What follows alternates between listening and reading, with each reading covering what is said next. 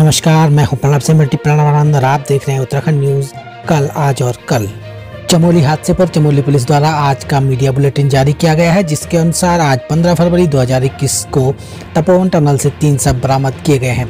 अब तक कुल चौवन शवों एवं 22 मानव अंगों में से उनतीस शवों और एक मानव अंग की पहचान की जा चुकी है।